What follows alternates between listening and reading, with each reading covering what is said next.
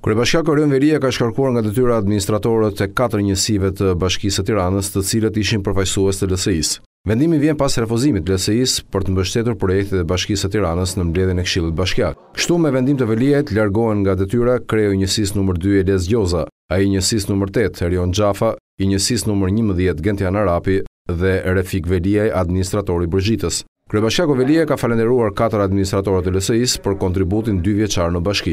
Ndërkohë në mbledhjen e sotme të Këshillit Bashkiak u vu re sërish përçarja e opozitës, teksa dy përfaqësues të saj në Këshill votuan pro prej buxhetit për mbjelljen e pishave të buta në autostradën Tiranë-Durrës në vend të palmeve që janë tharë. Naim Alili i Lëvizjes Socialiste për Integrim dhe Ferdinand Papadhima i Partisë Republikane janë dy këshilltarët që votuan pro prej buxhetit për mbjelljen e pishave. Në një reagim për mediat, Naim Alili i Lëvizjes Socialiste për Integrim është shprehur se kryebashkiaku Veliaj po punon dhe është absurde që të bojkotojë punën e tij.